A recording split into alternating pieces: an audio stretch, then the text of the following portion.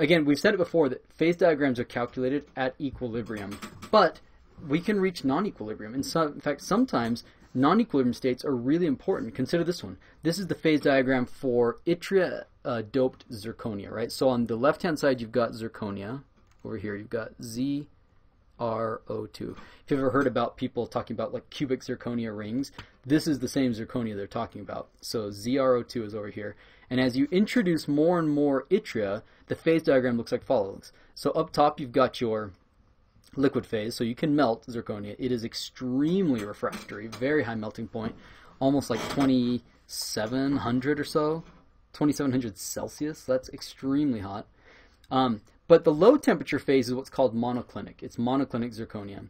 There exists a temperature around 1200 degrees where it transforms to tetragonal if you're pure zirconia, and then get high enough around 2400 and you get the cubic zirconia that, that looks kind of like diamond.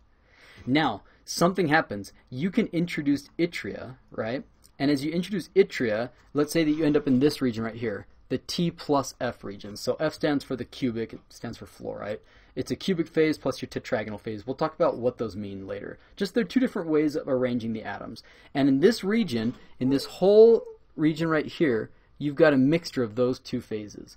Well, what can happen is that if you put it in this region where there's a mixture of T plus F, and then you cool it down, thermodynamics tells us that it wants to turn into M plus F, right? Because now you've got M over here and you've got the F phase over here. So it should be a mixture of M plus F. But in reality, this doesn't happen because it's at a low temperature. So it's it's a it's a metastable phase. What you end up with is T plus F, but it, what it wants to be is M plus F.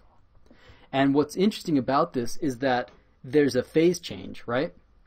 The volume of the M phase is larger than the volume of the T phase, okay? And so what happens is that in these ceramics, when a little crack occurs, right, you've got your ceramic, right? And a little crack occurs, and you have this mixture of T plus F everywhere. In the vicinity of the crack tip, so right here around the crack tip, you have T, you have the tetragonal phase that converts to the monoclinic phase. Here you have tetragonal turning into monoclinic. And what's crazy is because as a larger volume in the monoclinic phase, it puts a closing pressure on this crack. It expands to sort of fill this crack. How crazy is that? And so when you see ceramic knives and things like that with like the white blade, it's almost certainly um, transformation toughened zirconia. It's zirconia where they've added a little bit of zirconia or yttria so that you end up in this T plus F region. And then when the crack would normally start to grow and propagate, instead your T turns into F, right?